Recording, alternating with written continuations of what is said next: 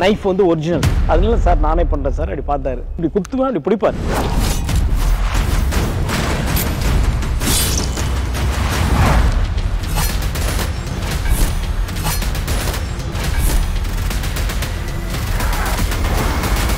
Jailer unlock super star Rajinikanth അഭിനയിച്ച mega block buster ചലച്ചിത്രം ജയിലറിന് പിന്നിലെ കഥ സബ് ടൈറ്റിലിനോടൊപ്പം നിങ്ങളുടെ സൺ നെക്സ്റ്റിൽ മാത്രം കണ്ടാസ്വദിക്കാം ഇപ്പോൾ തന്നെ ആപ്പ് ഡൗൺലോഡ് ചെയ്യൂ സമയദോഷമാണെന്ന് പറഞ്ഞ് രക്ഷപ്പെടും ഇതൊക്കെ ഒരു രീതികളാണ്. അഞ്ജനയുടെ സഹോദരനാണ് എല്ലാത്തിന്റെയും പിറകിൽ നിന്ന് തനിക്കറിയാമല്ലോ. അതൊക്കെ താൻ പറഞ്ഞുള്ള അറിവേ ഉള്ളൂ.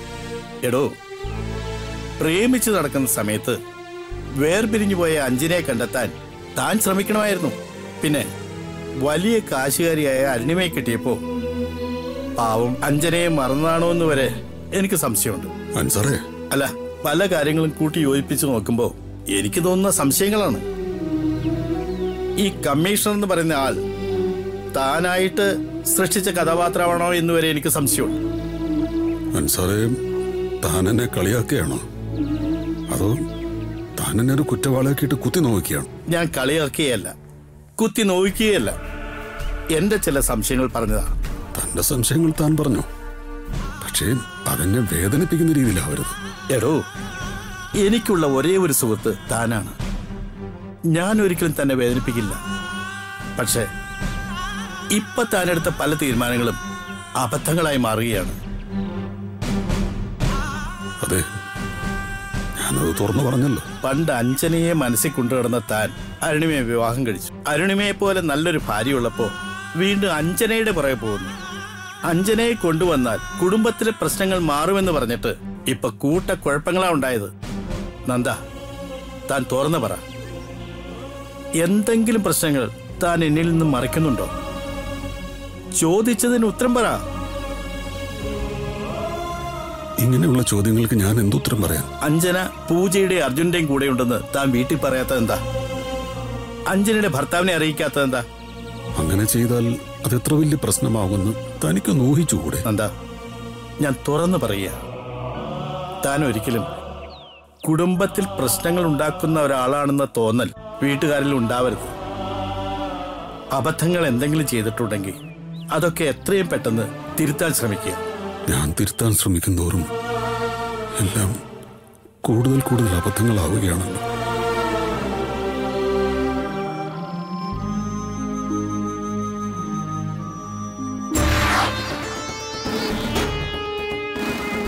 താൻ എല്ലാവരുടെ പേര് നശിപ്പിച്ചു.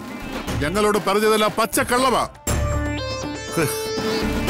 സ്റ്റേറ്റാണ് വാദിക്ക് വേണ്ടി കോടതിയിൽ നിൽക്കുന്നത് ഒരു പബ്ലിക് പ്രോസിക്യൂട്ടർ നിലയ്ക്ക് എന്നെ താൻ നാണം കെടുത്തി. എനിക്ക് അർജുനോട് ഒരു വൈരാഗ്യവുമില്ല. അയാൾ തെറ്റ് ചെയ്തെന്ന ബോധ്യത്തോടു കൂടിയാണ് ഞാൻ വാദിച്ചു തുടങ്ങിയത്. പക്ഷേ അർജുന്റെ വക്കീൽ നിരത്തിയ തെളിവുകൾക്ക് മുന്നിൽ ഞാൻ വിശ്വസിച്ചിരുന്ന എല്ലാം അടിപതറി വീണു. അർജുനെ പരിചയപ്പെടുന്നതിന് മുമ്പ് തന്നെ നീ ഗർഭിണിയായിരുന്നു. ആ തെളിവാണ് പ്രോസിക്യൂഷനെ തകർത്തു കളഞ്ഞത്. വ്യാജ പരാതി നൽകിയതിന് നിനക്കെതിരെ നടപടി വരും. സ്ത്രീയാണെന്നുള്ള ആനുകൂല്യം വെച്ചാണ് നീ കള്ള പരാതി നൽകിയത്. അത് വ്യക്തമായി കഴിഞ്ഞു. എന്തായാലും നിന്റെ ഗർഭത്തിന് ഉത്തരവാദി ആരാണെന്ന് നീ പറഞ്ഞേ പറ്റൂ. അതുപോലെ ഈ കേസുമായി നീ പെട്ടെന്ന് വന്നതിന്റെ യഥാർത്ഥ കാരണവും നീ അറിയിച്ചേ പറ്റൂ. നിന്ന് കരയാതെ പറയടി. ക്ഷമിക്കണം. എല്ലാം എന്റെ തെറ്റാണ്. എന്റെ അച്ഛനെ ജയിലിൽ നിന്ന് ഇറക്കാൻ വേണ്ടി ഞാൻ ചെയ്തതാ ഇതൊക്കെ. അഡ്വക്കേറ്റ് അർജുൻ എന്നോട് ഒരു തെറ്റും ചെയ്തിട്ടില്ല. ഒരു പാവ മനുഷ്യന്റെ ജീവിതം തുലച്ചിട്ട് നീ നിന്ന് കുറ്റസമ്മതം നടത്തുന്നു. ഈ നിമിഷം തന്നെ നിന്നെ പിടിച്ച് അകത്തിടുക വേണ്ടത്. ജീവിതകാലം മുഴുവനും പുറത്തിറങ്ങാൻ പാടില്ല നിന്നെ പോലെയുള്ളവർ നിന്നെ പോലെയുള്ള കുറച്ചുപേര് മതി. ഒരു സമൂഹം നശിക്കാൻ.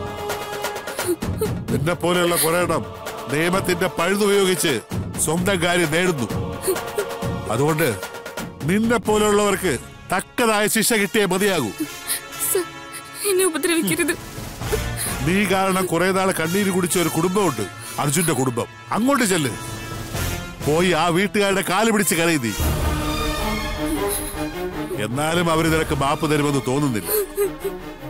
നിനക്കെതിരെ മാനനഷ്ട കേസിനുള്ള നീക്കങ്ങൾ അർജുൻ തുടങ്ങിയിട്ടുണ്ടെന്നാണ് അറിയാൻ കഴിയുന്നത്.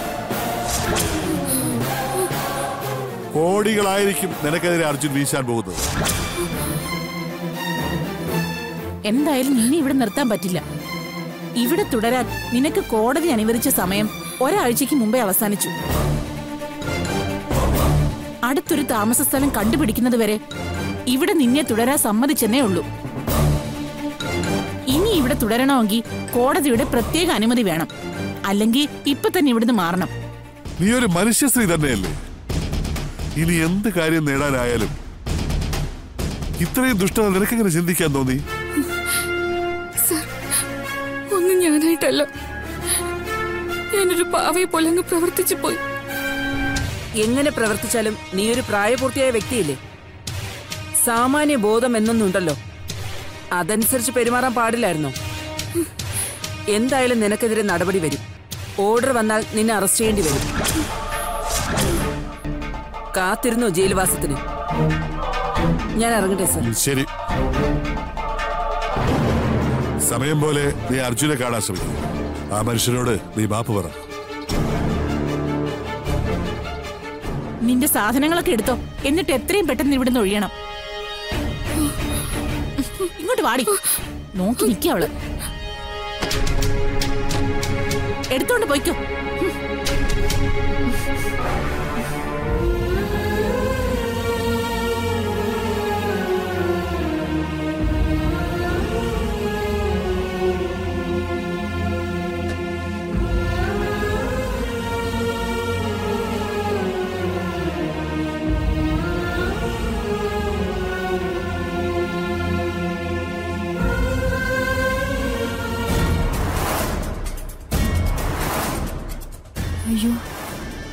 എന്റെ ബാഗ് ആര് തുറന്നിരിക്കുന്നേ.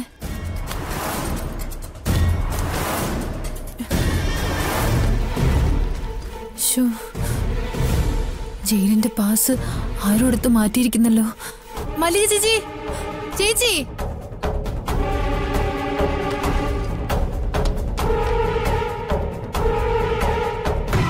എന്താ മോളെ? ചേച്ചി എന്റെ ബാഗ് തുറന്നോ?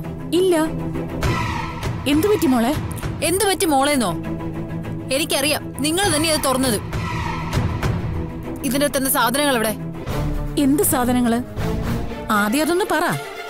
ദേ കളിക്കാതെ അതൊക്കെ ഇങ്ങതാ എന്ത് തരാനാ പറയുന്നേ? നഷ്ടപ്പെട്ട സാധനങ്ങൾ ഓരോന്നായി പറ. നമുക്ക് അന്വേഷിക്കാം. എന്തെങ്കിലും പാസ് നഷ്ടപ്പെട്ടു പോയോ? എന്താ? എന്താ? മുഖത്തിനൊരു വിളർച്ച. എന്തെങ്കിലും പാസ് പോയോന്ന്. വല്ല ജയിലിലോ മറ്റോ കേറാനുള്ള പാസ്. എന്റെ ബാഗ് നിങ്ങൾ എന്നെ തുറന്നല്ലേ അതെ ഞാൻ തന്നെയാ തുറന്നത്. ഇനിയും തുറക്കും. നീ ആരാണെന്ന് കണ്ടുപിടിക്കുകയും ചെയ്യും. ചോണയുണ്ടെങ്കിൽ എന്റെ ദേഹത്തൊന്ന് തൊട്ട് നോക്കടി. ഞങ്ങളുടെ വിശ്വനാഥ സാറ് വിയർപ്പും ചോരയും കൊണ്ട് കെട്ടിപ്പൊക്കിയ സ്ഥാപനമായത് നിന്നെപ്പോലൊരു കുഴപ്പക്കാരി. ഇതിനകത്ത് വളരാൻ ഞാൻ സമ്മതിക്കില്ല.